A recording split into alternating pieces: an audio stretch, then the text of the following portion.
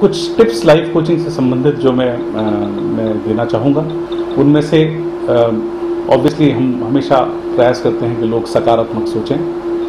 हमेशा होलिस्टिक रहें या अपने संपूर्ण स्वरूप को देखें बजाय इसके कि वो सिर्फ़ अपने व्यवसाय सिर्फ़ अपने काम सिर्फ़ अपनी हेल्थ सिर्फ़ अपना परिवार या सिर्फ़ अपना बुद्धिजीवी जीवन या अपनी एक स्पिरिचुअल लाइफ के बारे में सोचें।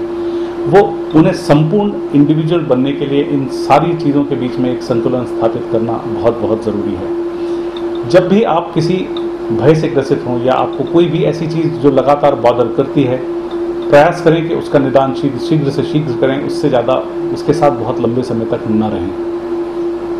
एक अच्छा साथी अपने साथ ढूंढें जिससे आप लगातार कुछ ना कुछ सोशल एंगेजमेंट के तौर पे या इंटेलेक्चुअल एंगेजमेंट के तौर पे उससे बात कर सकें। अपनी सेहत का ख्याल रखना बहुत आवश्यकता है बिकॉज़ बिकॉज़ सेहत जो है हर चीज़ का एक सेंटर है।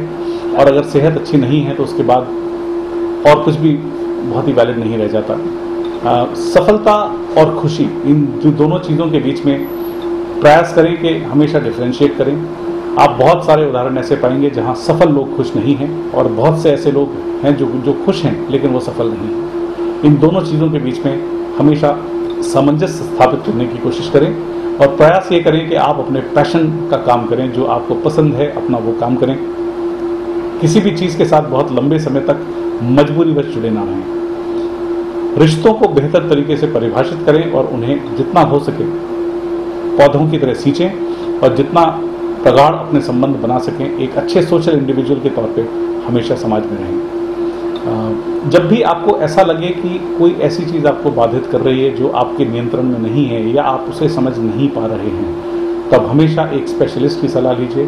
जब भी आपके जीवन में कोई ऐसा समय आता है या जब भी आपको ऐसा लगता है कि अब ये, इस चीज़ में मुझे किसी एक्सटर्नल इंटरवेंशन की आवश्यकता है तो किसी प्रोफेशनल को ढूंढें। जैसे तबीयत थोड़ी सामान्य सर्दी जुकाम से ज़्यादा होने के बाद आप एक डॉक्टर की तलाश करते हैं। जैसे ही अपने व्यवहारों में आते हुए परिवर्तन या अपने, अपनी लाइफ में आते हुए परिवर्तन के लिए हमेशा एक प्रोफेशनल लाइफ कोच की तलाश करें और उन्हें